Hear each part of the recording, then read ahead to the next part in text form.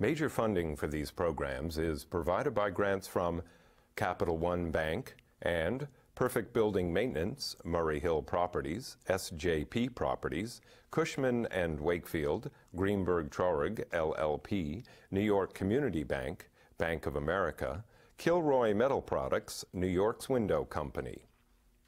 Additional funding is provided by Akron Gold Brothers LLC, Briarwood Organization, CB Richard Ellis, City Investment Fund, Essex Capital Partners, Excel Realty Advisors, First American Title Insurance Company of New York, Gemini Real Estate Advisors, GVA Williams, Hal Fetner, Durst Fetner Residential, Herrick Feinstein, LLP, Helmsley Spear, Jackson Development Group, James D. Kuhn Real Estate Institute at Syracuse University, James Orphanides, John Catsimatidis, Massey Knakal Realty Services, Madison Realty Capital, Marcus and Millichap, M&T Bank, Meridian Capital Group, Newmark Knight Frank, Muss Development, Palin Enterprises, Rosenthal and Rosenthal, Signature Bank, Sterling and Sterling, Stephen Napolitano, Stonehenge Partners, Studley,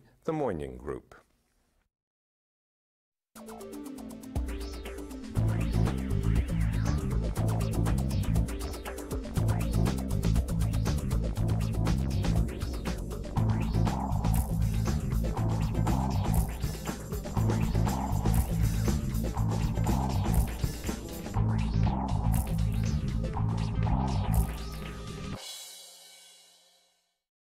Hello, my name is Michael Stoler. New York City, in this terrible, terrible credit crisis, in a terrible economy, what's happening with the office market? I have assembled today a distinguished group of individuals. I don't know what they do for a living anymore, but they are allegedly heads of leasing uh, brokerage firms who are going to tell me and my audience what's happening with New York City and the tri-state region. My guests today include Peter Riguardi, president of the New York region of Jones Lang LaSalle, David Arena, president of the New York region of Grubb and Ellis, Robert Freedman, executive vice chairman of First Service Williams, and last but not least, Mitch Konsker, uh, vice chairman of Cushman and Wakefield. Since you're last but not least, what's really going on, Konsker? You and I go back many years. Come on. Um, first of all, there is a lot of activity in the market today. Um, unfortunately, You lying again? no. Unfortunately, it's the conversion of that activity into deals. So there's a lot of tire kickers in the market looking at space, and the problem that the brokers, both on tenant and landlord side, is having is making deals. We don't know where the bottom is. We don't know. Um, you have many uh, landlords trying to reach for renewals, short-term renewals. So, representing on the landlord side the vacancy, you potentially have potentially you have difficulty trying to convert those into transactions. You know, we were talking prior to the show. Your office is in Black Rock, okay, 51 West 52nd Street. CBS Tower, great building. Everybody well known, cross street from the New York Hilton. You know, it's it's a great location, China Inn. And, and Peter was saying that today, because you- you're moving to 1290, you know, uh, next year you will have a new cubicle, no more big offices. Uh, everybody's going to have a, a little 36 strange- square foot 36 square footprint. feet. That's it. Peter, Personally, I think that's a little too much. Okay, I know. Uh, no, they're going to have it, you know, uh, hoteling. That's what uh, you know he learned from the days in corporate.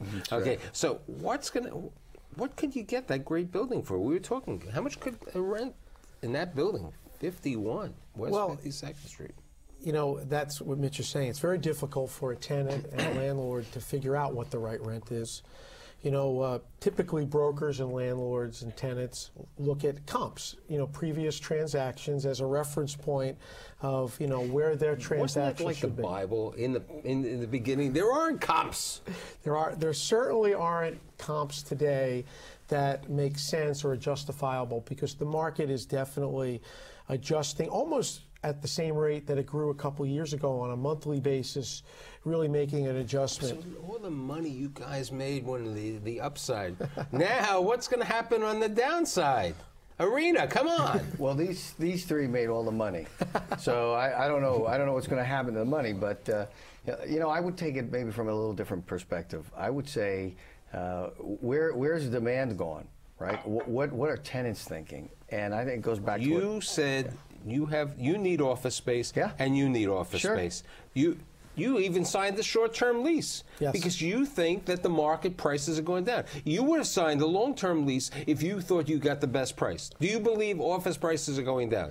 I think the entire 2009 will be a, a downward adjustment in pricing. And the uh, second reason we made that decision is we think there'll be more choices. Not only will we be able to get good pricing, but we also are going to look for choices that better meet our business objectives. Gives us uh, identity, flexibility, uh, our good location for our employee base. Couldn't I mean I, I remember going past Cushman. You still have an office down there. Does anyone ever have an office in the ground floor? There's a sign that says Cushman and We have we have offices. no, no, there, there are people there. He's in the I mean, window. I mean, Exactly. He's in the window. Wait, like the toasters you give away. I mean, that's a great identity. Wouldn't you like that? The Jones Lang LaSalle building? Well, Little vitrine I with don't Konsker in I- there, you know? I, I wouldn't. I don't. I don't know if there's a, uh, a Yiddish word or a Chinese expression, but I don't think we want to go into our biggest competitor's space. So we probably would pick another location. Wait a second. We have another competitor. feng shui. No, we have a competitor and friend who trained you at the beginning. You can That's go right. to one of his buildings. That's right. It should be noted. Who did you work for initially? Well, I, I, look, I'm happy to say it. I'm proud of it. I, 25 years ago, I I'm was proud of one of too, Bob's yeah. uh, canvassing people. So yeah, you know, Bob and I go So, back a long time. what, Bob? What's rents? I mean, look. People come up to me. I, I, I work with some great young guys in the office. They, they need 8,000 square feet. They need 8 to 10,000. They have no idea about loss factors. They don't know what's going on with this. That they have a friend at Cushman. They have a friend at CB. You know, it's like, the, and they have no idea. What, what, what's rents First of all, today? if you're looking for a pat answer, none of us are going to give it to you. And the reason is, frankly, this is a very inefficient marketplace because you don't have the velocity of trading. I think Peter said it. You look at comps. It- when you don't have the velocity of trading, you have such a thin floated tendency. In effect, we have a very inefficient market, so it's very difficult to gauge. Yeah. Okay, that's important to so- note. Uh, and you also have subleases that are overhanging the market. Ah. They're a wasting asset, and that's where you have the greatest degree of volatility I, in the I think, market. I think what, what Bob's bringing out is very important because, you know, as you were saying, there's a direct leasing where you can go directly to the landlord, and there's a lot of sublease space. I think somebody said, and maybe you, Mitch, you brought it up, you know, that the UBS space on, on Park Avenue made the sublease space made a mark. You could buy, it, you were able to get it f- for the low 60s. I think that's I mean- the answer to your question when you asked before where are rents. Rents are the cheapest alternative in the neighborhood. That's my uh, perspective.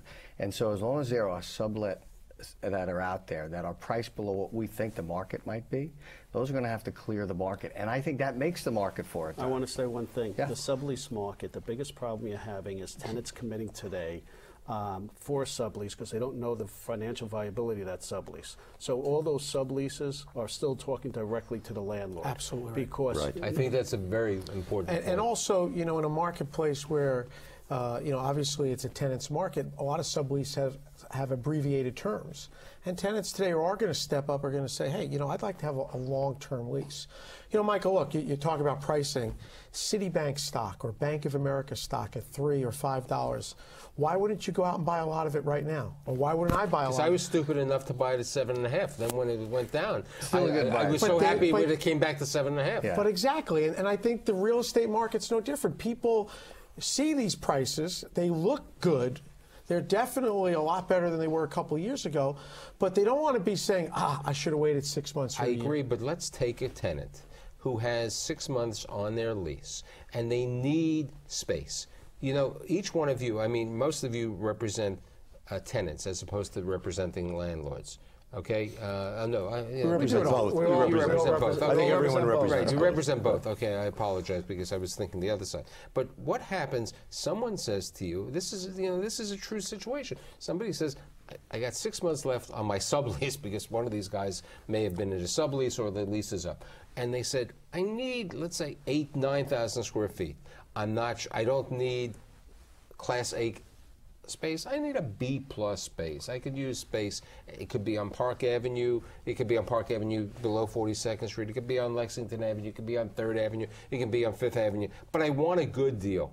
I, you know, because I'm not a major company, but there's no credit tenants, as we just said before. Who knows? So, what should somebody, you know, they, they come to people, you're more experienced. I mean, he has more experience than all of you. He's been in here longer than you. He trained you, as he said. Okay, so. I'm aged and infirm, but Aged- vibrant, vibrant. Vibrant. So what? Okay. so- oh, oh, so- oh, great sage. Yeah. Oh, great sage.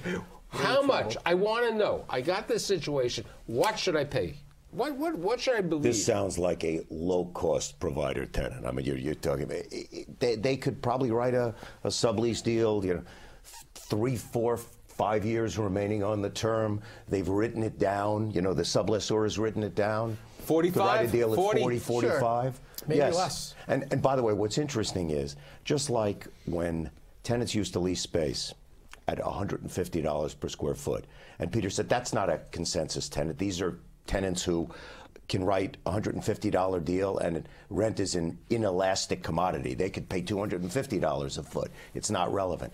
But there's a psychology to the market, so it establishes the upper limit of value. So then when you write a $100 per square foot deal for a 75,000 square foot tenant, the value computes. But when you now have subleases that are overhanging a market, I mean, for example, you, you, you want to know an example of a sublease that is um destructive to a market? The UBS sublease, $60 per square foot ask, 299 Park Avenue, 8th through 10th floors. So, in effect, it's psychologically damaging to our market. It's like going Okay. into Bloomingdale's, and you know that you, if you paid retail, it's a shanda.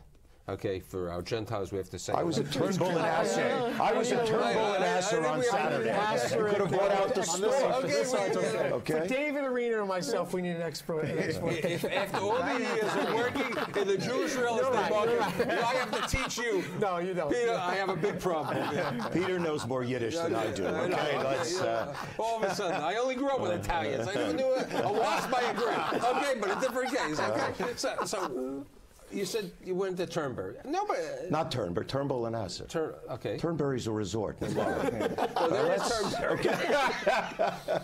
I went Tur- Turnbull and Asser. Everything was on sale. You know, Sea Island cotton, 400 bucks, 150 dollars. I mean, it, literally. It So that's the point. The point is, people are saying everything's on sale in New York City today, and I think the big question, because there are tenants who need space. Yeah, I mean, Jones Lang is a good example. You, you're not certain where you're going to go. You know, Grubb and Ellis has the same situation. Uh, Cushman and Wakefield bought the, built the, bought the barrel last year. They're going to a great space with 1290. Vornado, great landlord. Plus, you're taking over the management, so it's a, it's a good deal in this situation. Okay, you know, Taking so- over the, the, the leasing, not the Right, the maintenance. leasing, leasing on this situation. So, so where you know where's the best market? I mean, wh- where's the best deal for somebody? Is it is it is it Midtown South? Is it Lower Manhattan? I think it really all depends on what you do. I think it depends on uh, exclusively on what you do. so. How Where's about the you? Move, how about how about you moving to Lower Manhattan? we looked at it. Yeah. So why didn't you move? Just a little too far from Grand Central. Ah, at least you're honest. I, I, I think that that's only one consideration. Your workforce is a major consideration. Right. I think your clients are a consideration. Where you do business is a consideration. But if you were looking for price, you'd find a A quality building, and you'd look for the sublease first, and then you'd look for the direct lease. See, I, I- I think that um, the decision makers at medium-sized firms, small firms, large firms have a lot in common. They're concerned about their employee base today and where they're going to get it in the future. They're concerned about the competitiveness of their business, you know, how, how and what they have to deal with. That's why New York's a great uh, solution. And I, I think, you know, what I would be telling a tenant like that, or the, your example is, you, you tell me what you want, and we have no problem getting it for you in this marketplace. So that's if, if you want to pay $30 or 35 or $40 a foot, if you want to have growth, you want to have contraction rights, you want to have some uh, overtime air conditioning privileges, whatever you want, you tell me, and in this marketplace, we can find. I find want it to add one you. thing to Michael. It's location, location, location, because it does. There are pockets for a tenant in every area of the city where you can get a great deal. So it's not necessarily is there one great deal out there. It's really where the tenant wants to be. I agree with Peter on what his thoughts are, but you can negotiate between three or four buildings the best deal in that area. So here is a big question: What's the difference between the bid and the ask? You know, it's it's like when it's like when you bought stocks on, on certain markets before. You know, there was always saying they want 75. What can I really offer that they're not going to be offended? I think what you said before the show was you can offer anything. Somebody just may not like that what you offered. But what do you really think? Because you were saying maybe you or maybe Bob said it's it's really like you can get as much as 35 to 40 percent off the bid or ask. In this market today, I see 20 to 25 percent. Will it go to 30 percent? I believe it will go to 30. But right to today, with deals that are getting done are anywhere between 20 and 25 percent. Bob? Uh, I would I would tend to 20 agree. 25%. But one other issue. Remember, right before the capital markets meltdown, I remember when we were pricing space, it was it was illusory. We were up pricing all that merchandise. Correct. Uh, Pre capital markets meltdown. So I think you have an artificially inflated rental, asking rental structure. I think that's a very valuable Which I valuable think is very And I- I- critical I, I agree, in, and I in think this. I, I agree with, with with Mitch, but in certain markets, I think it's even going to be more. I, I think we started. To, and, I, and, I, and I learned this business, you know, from my dad and some guys like Bob, and we had a lot of business in those early '80s in Midtown South. We were so pleased to get twenty dollars per square foot on some of those buildings, and you know, you started to see asking rents in the mid '70s for 23rd Street and places like this. And I think, you know, a lot of those asking rents haven't adjusted, and I think you could see a 50% bid and ask in locations like that. Now, now, if I remember, you live in New Jersey, correct? Yes, I do. You live in Connecticut. Connecticut. You're New York City. New York City. okay. I, this question is posed to the two of you, even because first of all, you both handle the region. right. Okay. How bad is the office market in New Jersey? Well, you know, the office market in New Jersey is obviously connected deeply to what happens in, in Manhattan, particularly on the waterfront, in, you know, the New Jersey waterfront, Hoboken, Jersey City. You know, the internal market, you know, is, is always subject. The, the tough part of the New Jersey market is Let, us break New Jersey into two markets. Mm-hmm. The Jersey waterfront is the best market. Rumson, South Jersey, it's dead, isn't it? I mean, the, the suburban New Jersey office market. I've had the owners on the show saying they've given it last rites in many times. Well- Mm-hmm. they, don't- they don't lease space over there. You know, they just they hope that somebody, the brokers, only make money there. You know, the pharmaceutical industry is, is a big part of the New Jersey marketplace, and there are other industry there, and, and you know, with the population, what it is in the New Jersey area now, I, I do think there are some great labor opportunities there. So I, I wouldn't, I wouldn't It's write tough. it off, but it, it's challenging. But I wouldn't write it off. Westchester and Connecticut. Well, I think those two markets uh, have some similarities to the Jersey waterfront in terms of their dynamics, right? And, they, and the Westchester market's been the same kind of effective rents for 20 years. 25 years, For 30 20 years. For 25 years. Not even effective. Same asking. Same, same rents. asking rents. You know, to me, it's about a price, right? It's even the even the the uh, product that you're talking about in Jersey, in the worst parts of Jersey, or in the worst parts of Connecticut. If the price is right, we'll be able to find tenants who'll take that Now, space. now, now for the for the people who work and live in New York, have there, there, different there, there, there is there's boroughs. You know, something called the, the borough of Brooklyn. Yes. You know, which S.L. Green made a commitment, bought a building at 16 Court Street last year. You know, Ratner owns a lot of property over there. What's your thoughts about Brooklyn, guys? Well, we're, we're, we're handling a big project for JP Morgan Chase in Metrotech. We have uh, a million square feet of space that we've just recently put on the market. And actually, we're very pleased with the amount of activity showings. Uh, you know, non-for-profits, companies with different margins, What kind of rents? and government entities. What kind of rents? Uh, Mid 20s starts. Mid 20s, because a nonprofit really can't get the REAP benefits.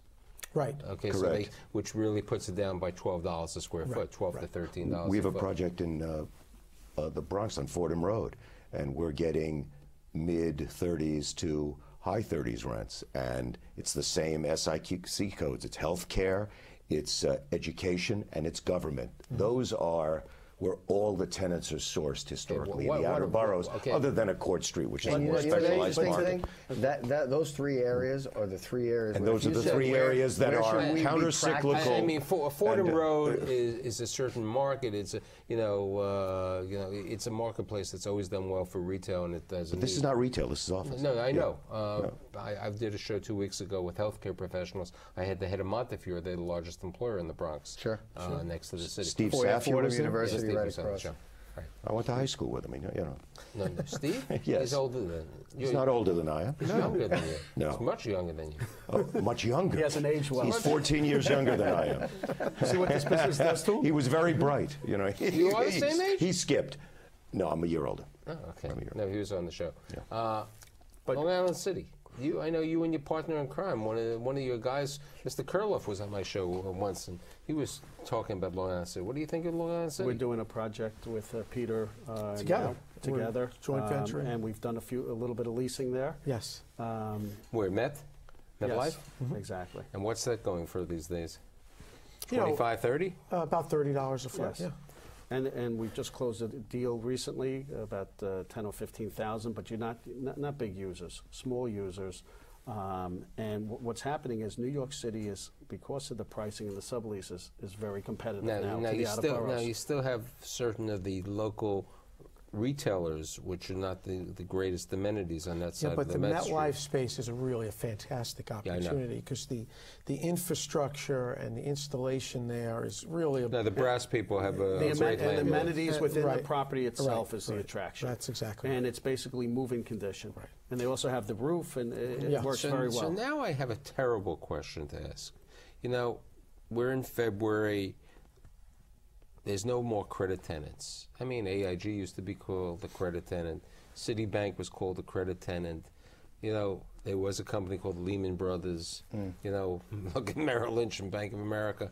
What's going to happen?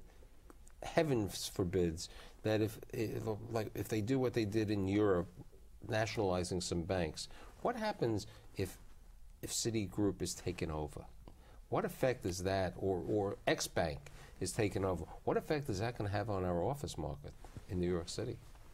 Well, I, I think we're seeing the effects of the big banks uh, already. Not only are they downsizing people, which is creating a small footprint, but these firms are really driving alternative work solutions, lowering the standard per square foot per person. I'm getting even worse, Peter. Well- I'm saying I'm saying they cut, they cut, or they go out of business. Well, first of all, if it's a bank is nationalized, that's a credit enhancement. You talk about downgrading No, no, credit, no, no, but but no, but if they take it over first, then they put in, Yeah. they put into a receivership where the land where the the government could Disavow the lease. Disavow the lease. disavow the lease. There's That's no- what I'm saying. Well, It's very, the what you're talking about is complicated, right? Uh, here's here's a, a uh, there's no question this not this is going to happen.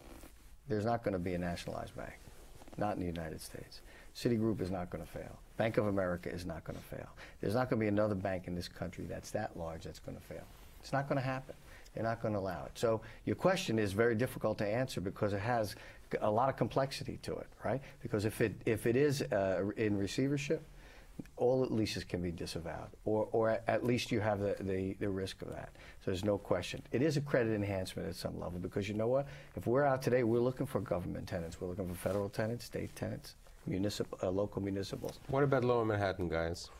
I mean, we, we potentially have a loss of close to 11 mi- million square feet. If you take Merrill moving out of the to, to Bank of America, AIG getting rid of a lot of their space, Goldman. Uh, Goldman, Goldman. moving into their tower, plus the, the loss of generally business. You know, Well, you know, the fir- first thing, and I don't think it's talked about enough, we're going to have a paradigm change in Lower Manhattan when the Memorial and the train station open. It'll make that area 24 7 community, which it's never been, and it'll be, you know, a, a real change in, in the community. And it's going to have a number of interesting, you know, uh, affordable real estate opportunities that I think people are going to take advantage Peter, of. when is this? Well, you know, the, That's the question. Yeah, I think that's the question. I agree with Peter. Right. If you look at the I- I'm not- station, Right. Uh, look, I'm look how big I- 2012 is a you know. Okay, let, let me let me respond to that. First of all, Peter's right to the extent that the local economy of downtown has been diversified. You have more retail. The streetscape is more animated. Uh, no question, it, it it's more 24/7 today than it was uh, 10 or 15 No years ago. question, So the market fundamentals are substantially better for downtown on a macro economic basis. downtown is at risk in the short term because of the convulsion of the uh, uh, master tenancy down there, for lack of a better term. The intrinsic problem downtown has always underperformed Midtown. I think Mitch said it earlier location, location, location. Look at the commute patterns. If you live in Westchester and Fairfield County and you're commuting to New York and you come into Grand Central, uh, think about No that. It's compelling. No, so it's commutation. No, and a big issue too is you we don't have companies that are hiring or looking to consolidate 10, 12,000 employees like Merrill was a couple of years ago. But companies who have that type of scale in this area, you know, Grand Central Station is still very important, but their demographics are the five boroughs and New Jersey, not the five boroughs and the northern suburbs. And that does give downtown an advantage, you know, in hiring and in, in, in I mean, Peter, if I lived in scale. Rumson, I'd work downtown, and you take that uh, Ferry. Ferry. Yep. Uh, makes sense.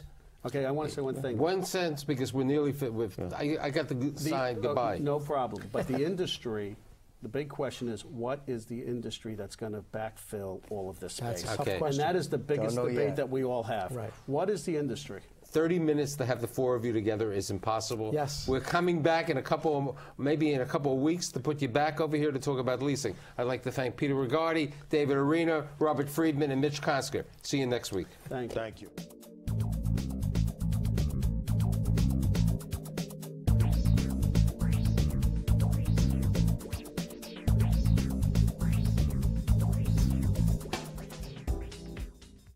Major funding for these programs is provided by grants from Capital One Bank and Perfect Building Maintenance, Murray Hill Properties, SJP Properties, Cushman and Wakefield, Greenberg Traurig LLP, New York Community Bank, Bank of America, Kilroy Metal Products, New York's Window Company.